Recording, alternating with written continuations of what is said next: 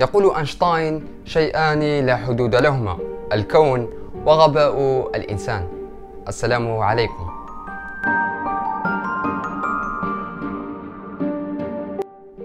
قبل أن نبدأ أردت أن أشكر كل من يدعمني ويشجعني لتقديم المزيد. وأحيي جميع من علقوا في الفيديوهات الماضية واشتركوا في القناة وانضموا لحسابي على الإنستغرام.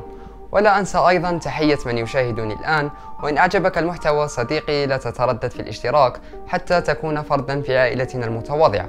وإن أردت أن يظهر اسمك في الفيديو القادم ما عليك سوى أن تترك تعليقا محفزا في هذا الفيديو أو الانضمام لحسابي على الإنستغرام والإعجاب بالصورة الأخيرة التي وضعتها. شكرا جزيلا. بسم الله ولنبدأ.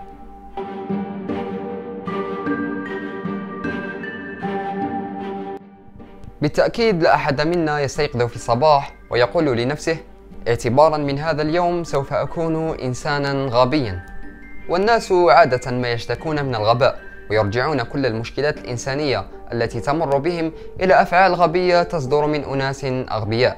السؤال هو هل الغباء هو قصور عقلي فطري أم أمر مكتسب يصل إليه الإنسان بعد المرور ببعض الخبرات والتجارب الحياتية؟ أم هو صناعة المختبرات والأنظمة. يعرف الغباء باعتباره حالة عقلية تؤدي إلى سوء التكيف مع الواقع والتصرف في عكس اتجاه المصلحة تحت ظروف اختيارية حرة دون إجبار. فيفقد الإنسان طريقة التأقلم مع المعطيات الجديدة وبالتالي تصدر عنه أفعال منافية للمنطق وللمصلحة. ولو سألت أحدهم مثلا هل تحب طائر البوم؟ لأجاب أعوذ بالله إنه قبيح ويجلب الشؤم ولو سألته عن سر كرهه لما عرف بماذا يجيبك رغم أن هذا الطائر بريء لا يجلب شؤما ولا حظا ويكون الجواب عادة لا أدري. هكذا تعلمت من آبائي وأجدادي والكل يتشائم منه ومن سماع صوته. والغباء كما ورد في بعض الكتب هو قلة الفطنة والغبي هو الشخص قليل الفطنة. وفي قاموس ويبستر الغباء هو قصور في الفهم ونقص في الاستيعاب وكسل في نشاط العقل. والإنسان الغبي هو الذي يفقد القدرة على الربط بين الواقع الربط الصحيح ليصل إلى نتائج صحيحة ويتخذ القرارات التي تصل به إلى الفائدة المرجوة وصولا إلى تحقيق مصلحة مجتمعه وبيئته. لنأخذ مثالا نشرح فيه صناعة الغباء وهو موضوعنا لنهار اليوم. ذات مرة عشرة أطفال كانوا يلعبون بجوار سكة حديدية. تسعة منهم اختاروا أن يلعبوا بجوار الخط الذي يمر عليه القطار كل فترة. بينما اختار الطفل العاشر اللعب بمفرده بجوار خط مهجور للسكك الحديدية. وحين لمح عامل السكة الحديدية القطار القادم أصابه الهلع خوفا على حياة الأطفال تسعة الذين يلعبون على خط السكة الذي سيمر عليها القطار. فكر الرجل بسرعة وقرر تحويل مسار القطار ليسير على الخط المهجور حيث إن هناك طفلا واحدا فقط يلعب.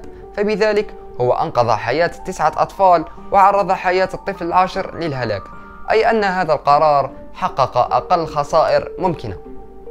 للوهلة الأولى يتبين لنا أن عامل السكك الحديدية قد اختار القرار الصحيح بمنطق الكم ولكن حين نفكر بمنطق الكيف سنكتشف أنه قد أخطأ. فالطفل الذي ضحى به عامل السكة الحديدية كان أذكى الأطفال العشرة لأنه الوحيد الذي فكر واختار القرار الصحيح باللعب في المنطقة الآمنة. أما البقية الذين أنقذ العامل حياتهم فهم الأغبياء والمستهترون الذين لم يفكروا بطريقة صحيحة واختاروا اللعب في المنطقة الخطر. ربما سيبدو أن هذا التحليل غير منطقي وغير عاطفي لدى البعض منكم. إلا أن هذا هو الفارق الشاسع بين المجتمعات التي تصنع الذكاء والغباء بين أفرادها. فالمجتمعات الغبية تضحي بالأذكياء والأكفاء. أما في المجتمعات الذكية عند الدول المتقدمة فتلهث القيادات وراء العقول وتنفق عليها لأن الأذكياء والعقلاء والنابهين يقودون المجتمع ويصنعون السعادة حتى للأغبياء أيضا.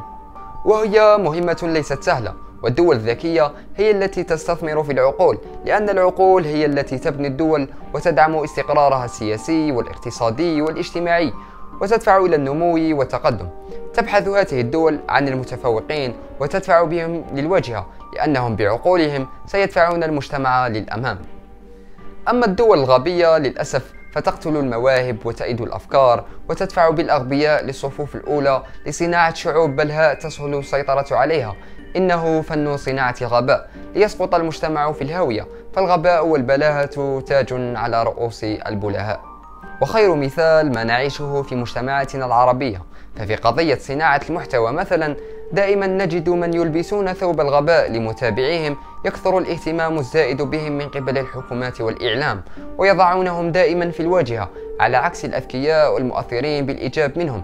وهذا هو الواقع للأسف. لنأخذ مثالا آخر على كيفية صناعة الغباء نظرية القرود الخمسة. ذلك أن مجموعة باحثين وضعوا خمسة قرود في قفص وعلقوا في مكان مرتفع منه موزة يتم الوصول إليها عبر سلم. وكانوا كلما تسلق قرد السلم ليصل إلى الموزة يرشون بقية القرود الأربعة بماء مثلج ولا يتعرضون للقرد الذي سعى إلى الموزة. وبعدما تكررت محاولة الوصول إلى الموزة من قبل القرود الخمسة مع تكرار العقاب بالماء المثلج بدأت القرود تنهال بالضرب على كل من يحاول صعود السلم. أخرج العلماء بعدها أحد القرود الخمسة وأدخلوا مكانه قردا جديدا. حاول القرد الجديد صعود السلم فضربه القرود الأربعة حتى اعتاد عدم السعي إلى الموزة. قرد ثان من جيل الماء البارد استبدل بقرد جديد وتكررت النتيجة حتى تعلم عدم محاولة الصعود وهكذا حتى تم استبدال جميع قرود الجيل الأول من ضحايا الماء المثلج. وبقيت قرود الجيل الثاني التي لم تختبر العقاب تضرب أي قرد جديد يحاول السعي إلى الموزة. العبرة من ذلك هي أنه تم صنع أساس المنع مع الجيل الأول من القرود الخمسة عبر العقاب الجماعي. والعبرة الأهم أن الجيل الثاني تبنى ضرب أي قرد يسعى إلى الموزة مع أنه لم يختبر العقاب بالماء المثلج بل ورث قناعة ضرب من يقترب من السلم. ما سبق هو مثال لعملية صنع القناعة لدى الرأي العام بالإكراه. ما يقتضي عقابا في المرحلة الأولى إلا أن الأجيال الآتية تتبنى تلك القناعة تلقائيا من دون الحاجة إلى إخضاعها للعقاب. فالغباء صناعة يصنع كما تصنع الأحذية. ويصنع كي يلبس ولكن في الرأس لا في القدم. بعبارة أخرى إنه أسلوب حياة. وببساطة عزيزي المشاهد لا تكن أحد القرود الخمسة وعش خارج الدائرة المرسومة والتي تقيد فكرك وذكائك. حافظ دائما على وعيك طور من مهاراتك سواء بالمطالعة أو بمتابعة المحتوى الذي يفيدك ولا تجري وراء الأغبياء. ففي النهاية سيجعلون منك غبيا مثلهم. في الأخير شكرا على المشاهدة وأتمنى أن تكون قد استفدت من هذا الفيديو. لا تنسى الاشتراك ودعمنا لكي نواصل. تابعوني على حسابي في الإنستغرام والذي سأترك لكم رابطه أسفل صندوق الوصف. لا تنسى أيضا مشاهدة هذا الفيديو ومتأكد أنه سيعجبك ويفيدك في حياتك اليومية. وهو بعبارة أخرى نمط آخر لصناعة الغباء في المجتمعات العربية بالخصوص. دمتم في رعاية الله ومع السلامة.